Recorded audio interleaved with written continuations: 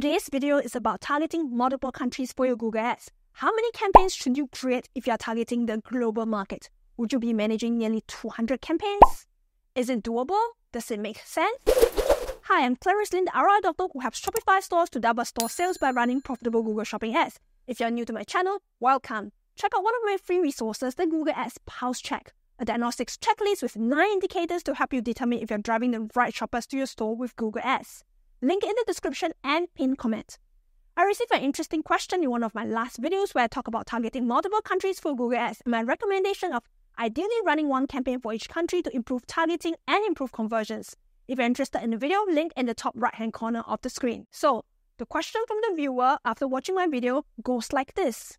You mentioned not targeting more than one country, and I understand that for larger countries and countries that are more interested in a product, that does not scale very well when you're targeting the world. It will seem at some point you need to target more than one country or you will have a minimum of 195 campaigns, probably a lot more. For us, we have 50% from UK, 20% from United States, 2% from Ireland, and then everything below 1% after that. What do you do in that case? It's a great question. Before I answer the question, I want to introduce to you the concept of the Pareto principle, more commonly known as the 80-20 rule.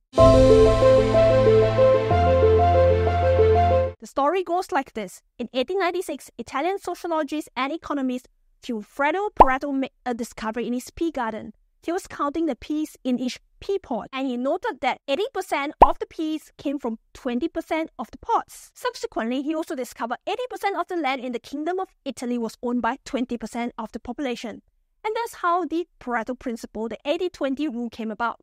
This principle shows up in many places in our world today. For example, in your closet, you probably wear 20% of your clothes 80% of the time.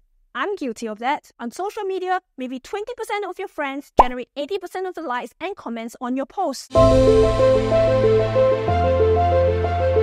Applying the Pareto principle is very valuable. This is because our time and resources are limited. In any given situation, there are many possible actions we can take. What we try to do is to estimate the value delivered by each action and then select a number of the most effective actions that deliver a total value reasonably close to the maximal possible one. The goal of the Pareto principle is to focus on the biggest win possible with the least possible effort. In other words, to identify and prioritize the least number of most important changes that are needed to get the biggest results. Makes sense so far? Alright, as promised, let's go back to the excellent question about targeting multiple countries and how the Pareto principle applies in this scenario. The question mentioned managing nearly 200 campaigns for a global market, and let's be honest, that's not exactly ideal. So, how can we tackle this challenge? This is where we put the 80 20 rule in action, activating the power of prioritization. How can we use a small portion of effort to yield a large majority of the results? Let's translate this to the Google Ads targeting strategy. And the question it was mentioned that the sales distribution with 50% coming from the UK, 20% from the United States, 2% from Ireland, and 1% coming from the rest of the world.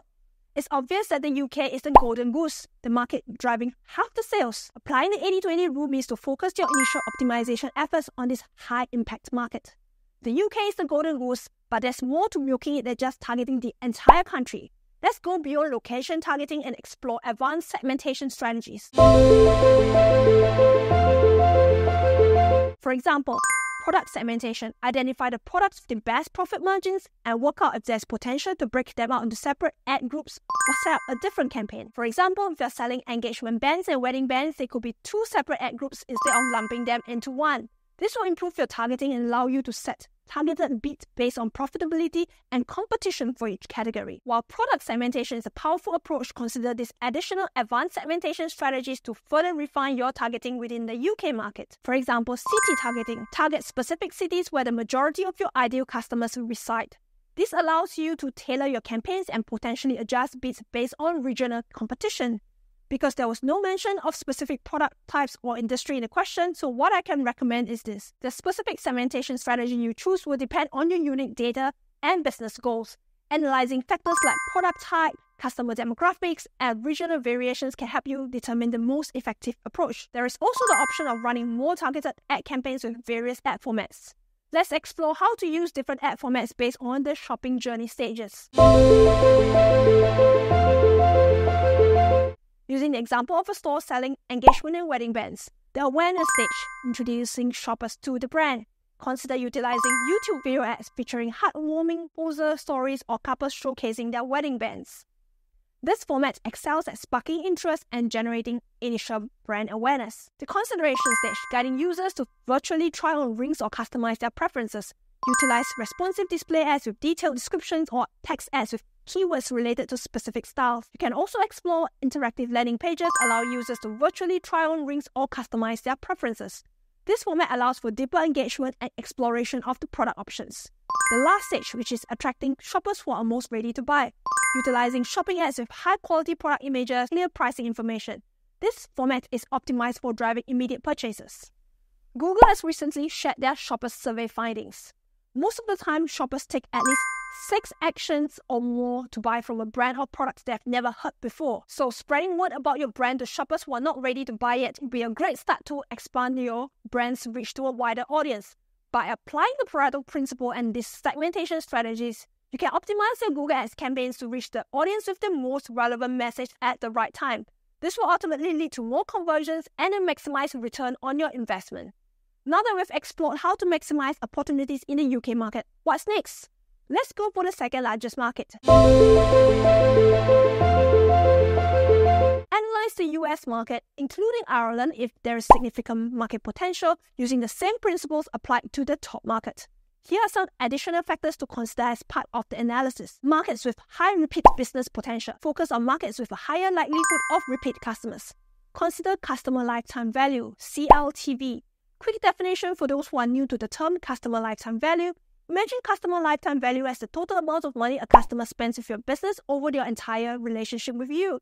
It's not just about the first sale you make to them, but the sum of all their purchases over time. Think of it like this if someone buys a small item from your store once, their lifetime value might be low.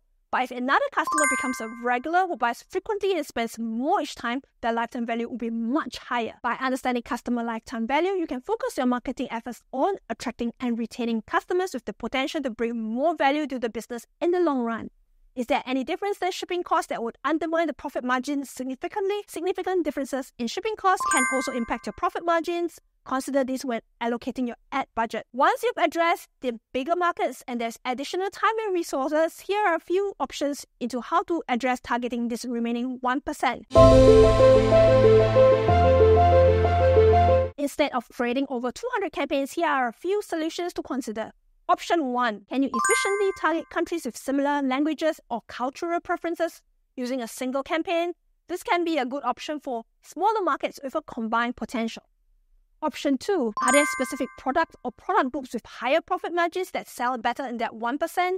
Perhaps that can be combined into one single campaign too. Option three, market size. Is the market big enough to justify individual campaigns? How much time does it take to manage the campaign versus the returns? Is it worth it? Option 4. Monitor performance. Keep an eye on the performance of smaller markets. If one starts exceeding expectations, consider a dedicated campaign for that region in the future. Remember, Balance is key. By continuously monitoring performance and re-evaluating strategies, you can optimize your campaigns to reach the right audience in each market, maximize your return on investment. A quick summary of my answer. The Pareto principle is a powerful tool. We can use it to identify the 20% of effort that delivers 80% of the results. In some cases, it's not literally an exact 80 20 split, in a more applicable manner, the goal is to achieve the most results with the least possible effort. Here, it means focusing on optimizing campaigns for the top markets for the UK and the US first to maximize returns without getting overwhelmed. Once those are done, we can explore targeting Ireland and the remaining markets. What are your experiences with targeting multiple countries? Do you use the 80 20 rule? Let me know in the comments below. I would love to hear your thoughts. If you have any other questions about targeting multiple countries, also let me know in the comments below. If you're in the process of scaling up your campaigns, do watch my other video, how to scale up your campaigns in a profitable manner. It dives deep into effective strategies and helps you to consider multiple angles that need to be planned ahead before you even start scaling. Link in the top right hand corner of the screen. For more tips to achieve long-term success in Google Shopping Ads, I have a video that explores strategies to ensure your campaigns are set for long-term wins. Link in the top right-hand corner of the screen. If you found all of this too complicated and you want to work with a professional to make sure your ads are ranking high and getting the right clicks, to get the sales, do get in touch. I specialize in helping Shopify stores struggling with running profitable campaigns. I help them to get from inconsistent ad performance to predictable, profitable campaigns. If that sounds like it's for you, look for my contact details in the description and pinned comment.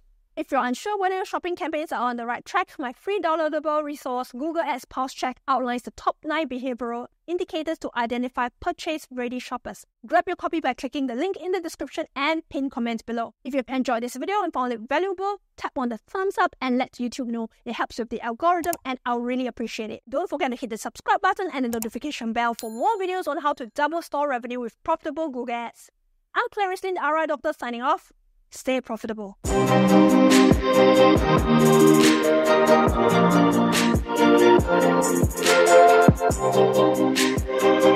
you.